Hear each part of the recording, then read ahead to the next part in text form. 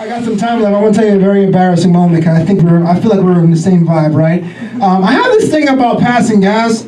I know. I know it's funny, but it's really, really serious. I can't do it in public. I'm the one guy who would hold that shit in for the longest time. So what happened was I was on a, I was on an airplane. I was on an overnight flight to Florida, right? And I really had to go, but it was like nighttime, and I didn't want to be that guy by the bath, so I held it in. And I held it in so bad I passed out on the plane.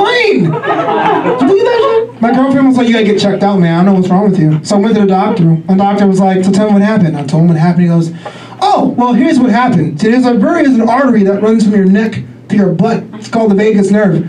And apparently, if there's too much pressure down here, all your blood goes there and not your brain. So you." You out. I'm like, oh my god, doc, do I have some sort of disease? Like, what do I have to do? He goes, oh, well, my diagnosis for you is to let her rip. That'll be $130 for your copay.